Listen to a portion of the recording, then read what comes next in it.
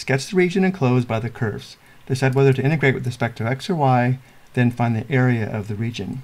Recall to find the area between two functions with respect to x.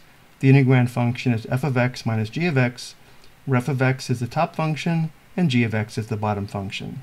To find the area between two functions with respect to y, the integrand function is f of y minus g of y, where f of y is the function on the right and g of y is the function on the left. Let's begin by sketching the given curves using Desmos.com. To determine whether we should integrate with respect to x, we first analyze the bounded area of this area here from top to bottom or vertically. Starting on the left, notice the area is bounded above by the blue line and below by the green line. But then, at x equals 1, things change.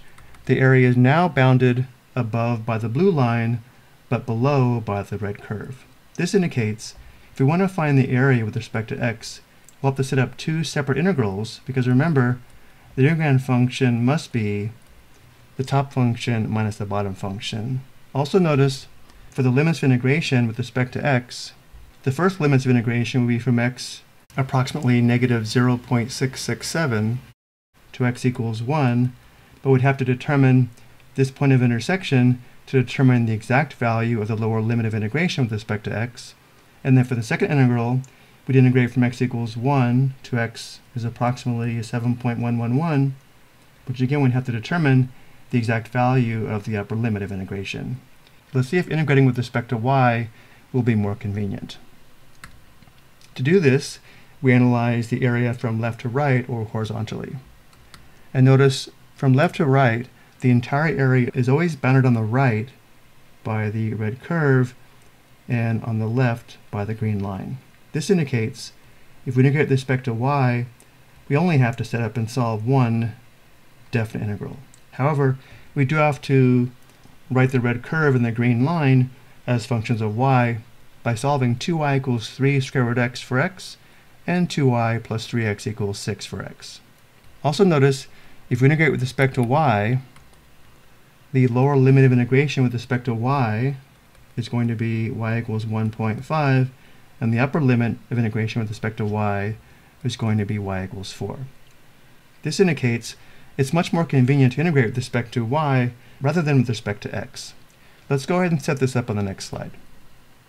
And yeah, we've now decided we're going to find the area as the integral from c to d of f of y minus g of y dy, where f of y is the function on the right, which in our case is the red curve, given by 2y equals 3 square root x, and the function on the left is given by the green line, which is 2y plus 3x equals 6.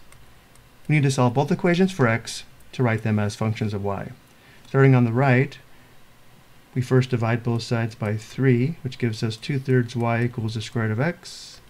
And then we square both sides to solve for x, which gives us 4 ninths y squared equals x. This indicates f of y equals 4 ninths y squared. And now for the left, to solve for x, we subtract 2y on both sides. Divide both sides by 3. And we have x equals 2 minus 2 thirds y, which indicates g of y equals 2 minus 2 thirds y. Let's go and set up the integral with respect to y. We have the def integral, then again, analyzing the graph to determine the limits integration for y. We'll integrate from y equals 1.5 to y equals 4.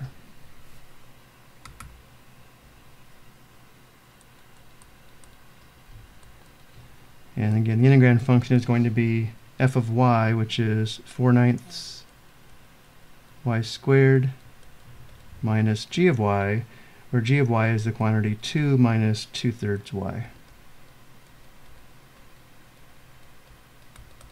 And now let's simplify the integrand function and evaluate the definite integral. Let's also write 1.5 as 3 halves. Let's write the integrand function as 4 ninths y squared plus 2 thirds y minus 2. And now let's determine the antiderivative.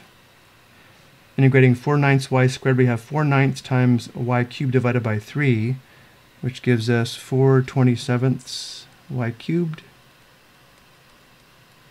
plus 2 thirds times y squared divided by 2, which simplifies to 1 third y squared, and then minus 2y.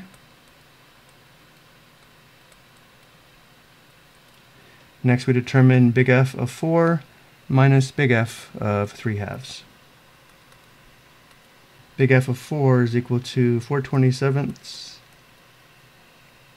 times the cube of 4 plus 1 third times the square of 4 minus 2 times 4 minus big F of 3 halves is equal to 4 27ths times the cube of 3 halves plus 1 third times the square of 3 halves minus 2 times 3 halves which simplifies to exactly 925 divided by 108 which is approximately 8.5648 and this is area which indicates the units would be square units. I hope you found this helpful.